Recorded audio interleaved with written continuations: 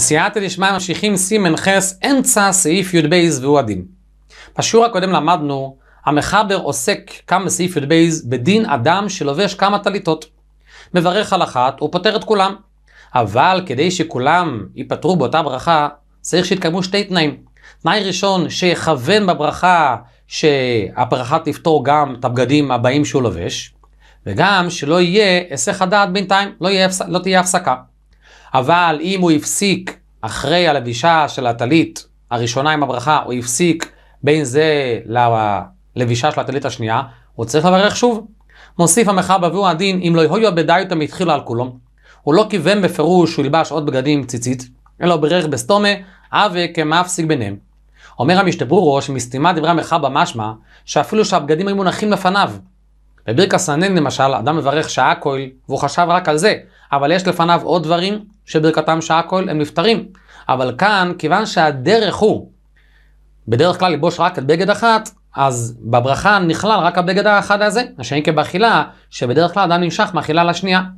ולכן, אם הוא באמת כן רגיל ללבוש כמה בגדים, אז זה כן נפטר. אבסטומה זה נמלח, ולכן כל מה שהוא לא כיוון בפירוש, אז רק בגד זה נפטר בברכה. הוא הדין אומר המשתברורו, אדם בירך על טלס קוטן על מצווה ציציס, כמנהג האשכנזים, ואחר כך מיד הוא לובש את הטלס גודל, אז אם הוא כיוון בפירוש לפתור את הטלס גודל, הוא לא צריך לחזור לברך. הביסטומה הוא כן צריך, כי ביסטומה אין דעתו לפתור את הטלס גודל בברכס על מצווה, כי הוא נוהג לומר, להיסעטף לטלס גודל. אבל ודאי לכתחילה, יש להיזהר שלא לברך על אחד, אחד אחרי השני, כמו שכבר דיברנו, אלא מברכים רק על אחד מהם. אז כמו שדיברנו שהמנהג הוא שלובשים את הטלסקוט, ואחר כך מברכים על הטלסקוט ופותרים גם את הטלסקוטן.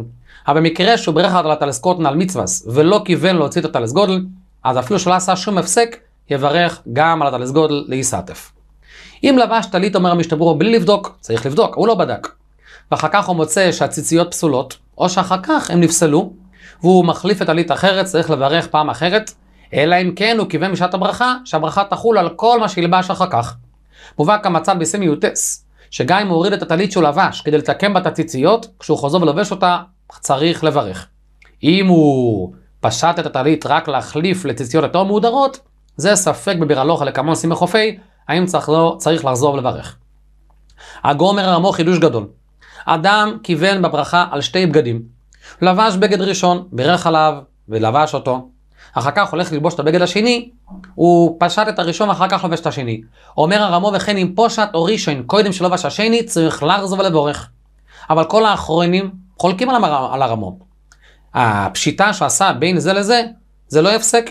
זה לא דומה למה שנראה לעלום בסעיף י"ד, שאדם פשט את טליתו, אומר המחבר כשהוא חוזר ולובש, הוא צריך לברך שוב, כי אז הוא לא הייתה דעתו על הלבישה השנייה, אבל כאן שהוא כיוון בברכה על שתי הבגדים, אז אפילו שהוא עשה הפסק בין הלבישה של הבגד השני לברכה על ידי זה שהוא פשט את הראשון, זה לא הפסק.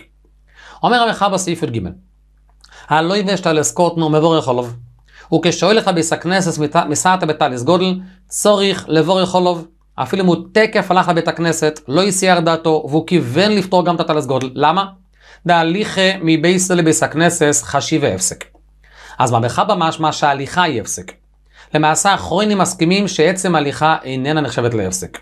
אבל בכל זאת הם סוברים שצריך לחזור ולברך, כי יש כאן שינוי מוקרים. ולכן, גם אם הוא יצא מהבית ומיד חזר הביתה, הוא לובש את הטלס גודל, אפילו שהוא כיוון עליו, הוא צריך לחזור ולברך. כמו שאדם מברך שעה כל על כוס שתייה. לא ברכת המזון, לא דברים שצריכים ברכה מקומם. שעה כל למשל על כוס שתייה. ובאמצע הוא יוצא מביתו, הוא מיד חוזר, אז הוא צריך לחזור לברך, כך גם כאן. אבל החיודום הוא חושש לדעת הסייברים, ששינוי מוקוים איננו הפסק. למה? מובא כמצב הנשמע סודום דווקא באכילה, כיוון שלעיתים אדם נמלח מלאכול, אז אפילו שהוא יצא ממקומו בלי הסך הדס, לא יפלוג רבונון. מה שאין כמצווה מוטלת על האדם כגון ציצית, שהוא מתכוון לקיים את המצווה, אפילו שזה שני מעשי מצווה, זה שני בגדים, זה לא הסך הדעת, זה שהוא שינה מקומו. ולכן, החיודו מחמיר לא לחזור ולברך על הטלס גודל אם הוא כיוון להוציא אותו בברכה שברך על הטלס קוטן, אפילו שהוא הלך מביתו לבית הכנסת. אבל אם הבית כנסת רחוק, אז עצם ההליכה היא הפסק. גם החיודו מודה שמברך. או בשעה שברך על הטלס קוטן הוא לא כיוון לפתור את הטלס גודל, אז, אז גם אז החיודום מודה. או שהוא כן כיוון, אבל הסיח דעתו בהיסח הדס, אז אז גם לך דס החיודום חוזר ומברך על הטלס גודל. המשך הסעיף נלמד בעזרת השם בשיעור הבא, ועד כאן הדף היומי.